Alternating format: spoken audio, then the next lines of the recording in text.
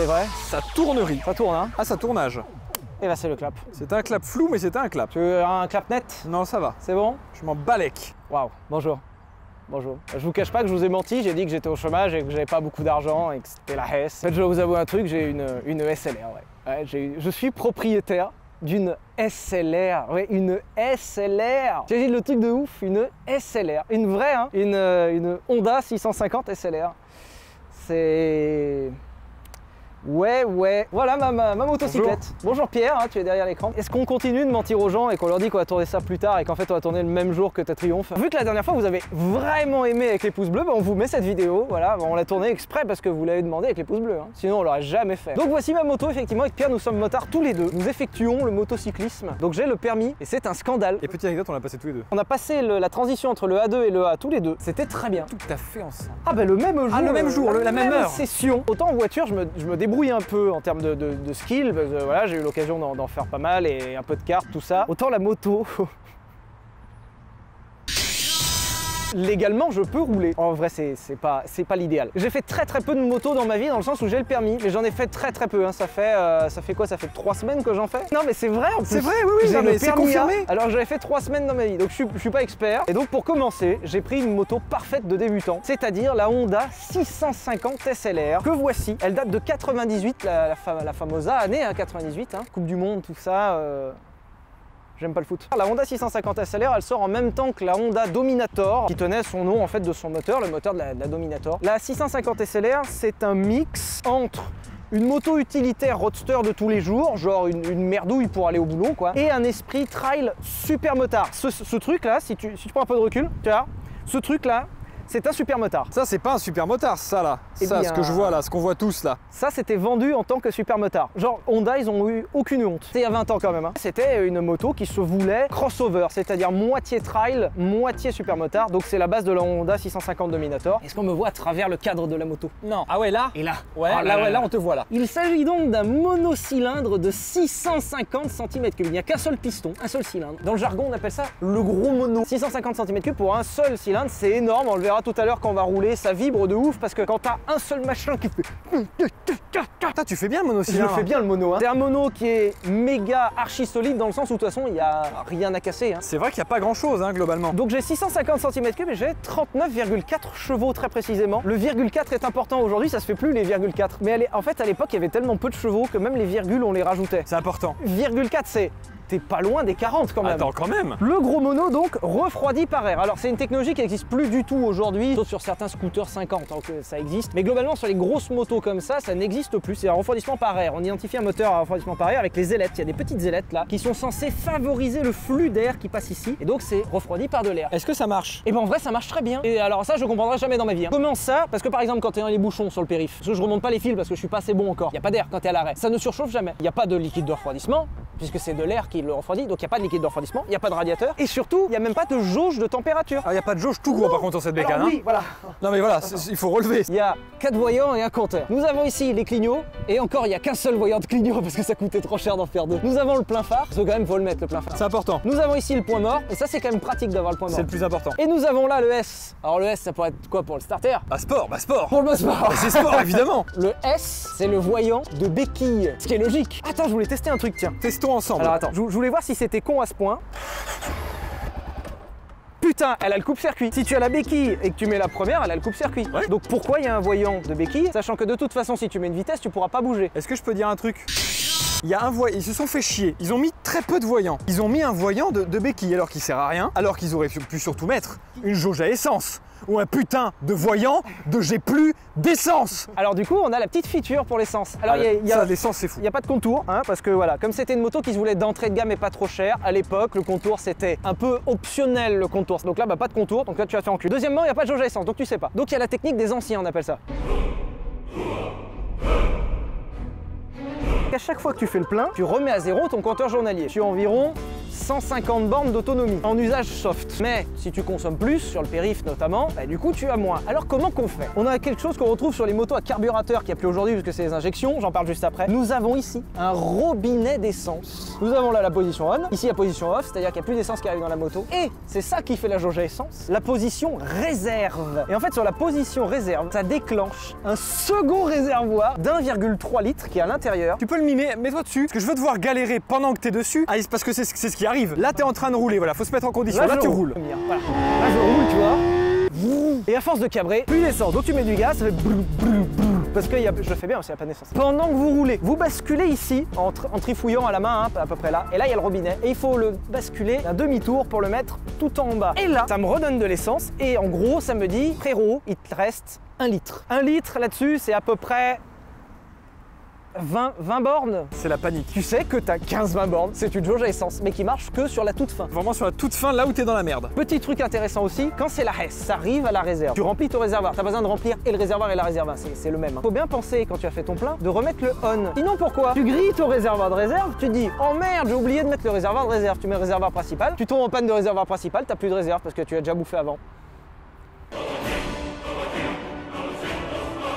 Que dire Eh ben globalement que c'est de la merde. On est ici les enfants le starter, c'est-à-dire que aujourd'hui toutes les voitures et les motos elles ont l'injection. Il existait des injections mécaniques et aujourd'hui on a des injections électroniques, c'est-à-dire que c'est géré par un ordinateur. Le truc c'est que avant que tout ça existe, il y avait un carburateur. En gros il y a de l'air qui rentre et il y a de l'essence. Et en gros c'est une petite trompette qui fait un mix et qui envoie un mélange dans le cylindre.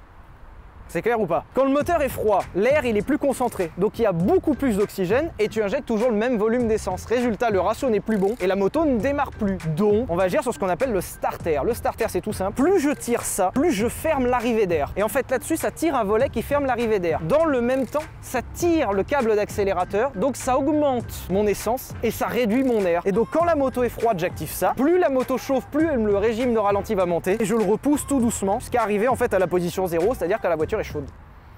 C'est chiant, hein. C'était aussi chiant à vivre qu'à expliquer. C'était une belle invention le starter. Mais ça marchait hein Quand tu quand t'avais bac plus 5 en starter, quand t'avais starter magazine, ça, ben, marchait ça marche. bien. Qu'est-ce qu'on a d'autre à dire sur cette moto? Moi, je dis juste que t'es en Brembo quand même, hein. Frein Brembo à l'avant, à l'arrière. hein. Alors mono 10, mono piston. euh, Tout mono ici. tout mono, tout mono piston, mono C'est la monomoto. Voilà, pas de bulle parce que voilà, pas de warning. Euh, Qu'est-ce que j'ai pas d'autre encore? Les mecs, attends, excusez-moi, ils ont fait des clignots aussi gros que vilains et ils se sont pas dit je vais mettre la fonctionnalité, on peut les allumer tous les deux en même temps. Mais j'ai les plus gros clignotants du monde. hein. Ouais, par contre, oui. Là quand je clignote, Top Case JV Simply, c'est pas sponsor, hein. double pot d'échappement pour deux fois plus de puissance. Ah ouais, par contre, là, la poussée est double. Par contre, gros avantage du SLR, c'est que ça pèse rien. Cette moto pèse 180 kg. 180 kg pour une moto, ça, alors c'est beaucoup dans l'absolu, mais en vrai c'est pas, c'est pas énorme. Donc du coup, ça se manie bien. Il y a pas mal de garde au sol, donc pour monter les trottoirs, tout ça, c'est pas mal Chose aussi. que tu fais pas du coup parce que t'as peur de tomber?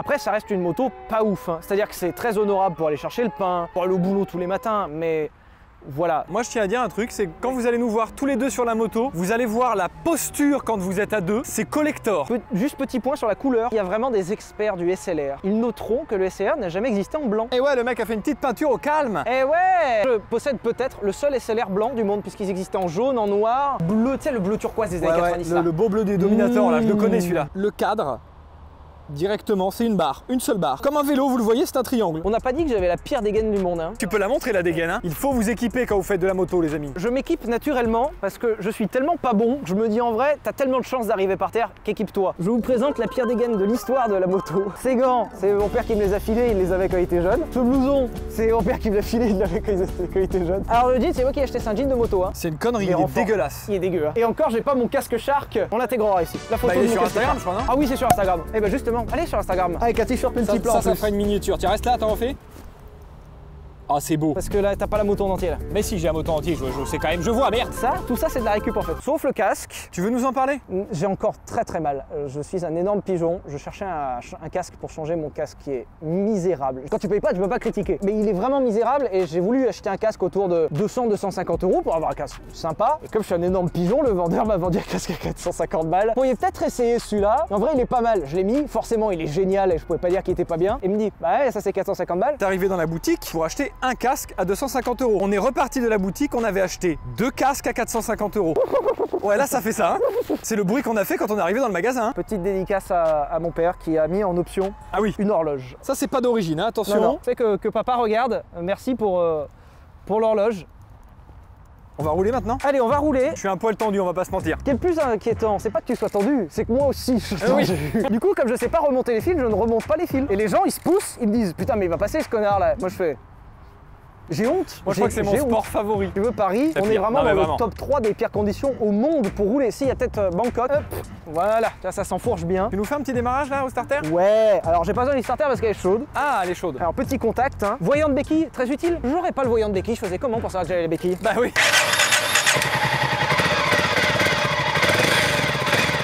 Un sacré bruit.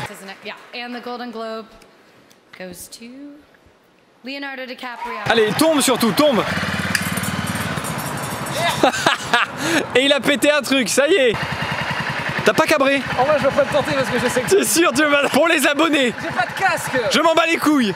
Vous savez que c'est vraiment là. Eh, ça se lève Ah oui, ça lève, mais j'ai peur. Allez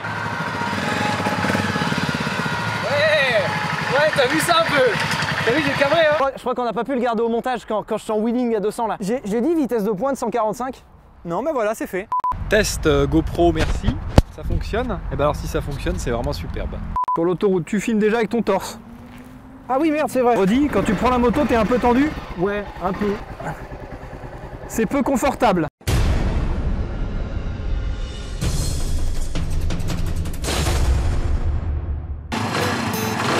Jeffrey, ancien cultivateur, essaie depuis quelques jours de maîtriser une moto. Aujourd'hui, Pierre se prépare à trois quarts d'heure d'angoisse à ses risques et périls. À chaque instant, on risque l'accident. Après 8 heures de route, Pierre se prépare à une nouvelle épreuve. Une mauvaise journée. Ils ont même perdu 600 pesos. Ils repartiront demain avec l'espoir de prendre davantage de passagers. Je, je suis pas serein. Bah moi non plus, justement, je suis pas serein. Allez, au revoir euh, ton Tiger sur le, sur le parking là. Ouais, j'espère quand je vais revenir, il sera là. Ah, il sera là, mais brûlé. Écoute ce son C'est pas mal, hein Ce qu'il faut savoir, c'est qu'un monocylindre, c'est pas souple, c'est-à-dire que ça marche en mi-régime. En bas, c'est chiant, en haut, c'est chiant. Donc faut toujours être à mi-régime, mais sans compte tour parce que sinon c'est pas drôle. Les rétros vibrent, ça c'est bien ça, les rétros qui vibrent, c'est une belle option. Ça va, t'es bien installé derrière? Super moment Et ben globalement, il n'y avait rien de plus intéressant à dire sur cette moto. Allez, au retour, je te ferai un petit 0 à 100. Ah bah ça marche, le 0 à 100 c'est important On est vachement bien installé, c'est-à-dire que tu as littéralement ta bite dans mon cul. Là, alors il faut que tu aies le pénis un peu souple quand même. Oui mais bon, là on a failli tomber là Mais non Si si, là on va tomber va. On penche trop là, je te dis On est sorti du rond-point sans mourir. C'est vraiment un, un grand moment de plaisir.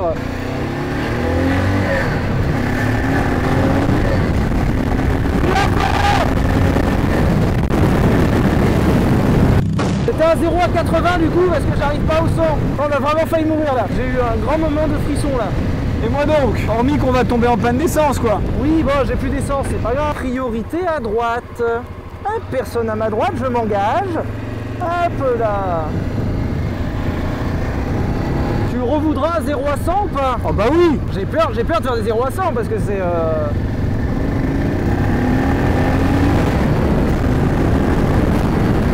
Bon freinage, bon freinage, hop, on prend l'angle. Techniquement quand t'accélères, vraiment ton, ton cul vient s'écraser sur ma bite C'est vrai? Ouais. Est-ce que c'est agréable au moins? Ah ouais c'est super agréable Allez, petite accélération.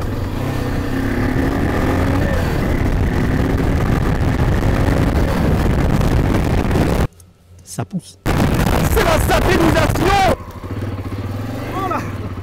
Oh là C'est bon, c'est bon, c'est bon, c'est bon. Pierre, des gens avec peu de style, t'en as déjà vu. Ouais Mais nous, on est vraiment au niveau zéro de ça. Je- Un je moment, descends. Un exceptionnel moment vous a été servi par Villebrequin. À aucun moment, il y a eu du style dans ce qu'on a fait. Mais vraiment zéro. hein. À aucun moment. C'était chouette hein Alors Pierre, ce tour. Euh, faudrait juste qu'on repasse sur la 15 là-bas, j'ai perdu une vertèbre. On n'est pas tombé, hein. Qui est pas mal. Eh bien, merci de nous avoir regardés. Si vous avez apprécié, n'hésitez pas à mettre le pouce bleu et surtout à nous rejoindre sur Instagram si vous voulez nous suivre plus et surtout avoir bah, du contenu plus régulièrement qu'une fois par semaine. sur YouTube. On dit pas ça pour vous emmerder, on vous dit juste qu'on met du contenu sur Instagram et qu'on est content qu'il y ait des gens qui le voient. Certains d'entre vous nous ont posé la question pourquoi on fait pas des essais de moto? On est déjà 60 heures par semaine tous les deux à faire des essais de voiture. On n'a pas le temps de faire des essais de moto, donc c'est pas impossible, mais c'est pas tout de suite. Mais on était bien content de vous présenter nos motos. Si un jour on change, et ben on vous, on vous montrera. Ouais, je vais pas changer tout de suite, tout de suite quand même. Moi j'ai plus de chances de l'exploser et du coup changer. Merci de nous avoir suivis et gros bisous. Au revoir. Oh là là là là là là. Oh là là, il est tout neuf. Il est tout neuf. T'as même pas enlevé l'étiquette. Non, je vais rouler comme ça. 450 euros. J'ai pas de thunes et j'achète un casque à 450 balles. Après, c'est comme les gens qui font des enfants. Hein. Allez, euh, merci à vous de nous avoir regardés. Euh, la bonne journée à vous tous. Merci. C'est vrai en plus, il y a bien des gens qui font des enfants Arrête thunes.